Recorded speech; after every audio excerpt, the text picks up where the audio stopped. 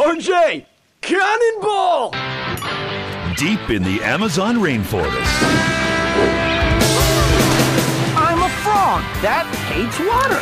And you know what else? I hate jumping. Lives a frog with an identity crisis.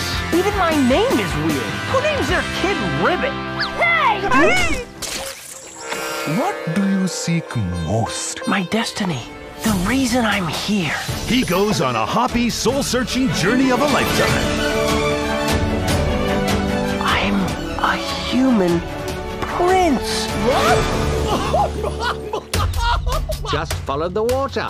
Sooner or later, you'll find the humans. An adventure that goes totally wrong. It is a special drink for any ruler to be. He's gonna poison the princess.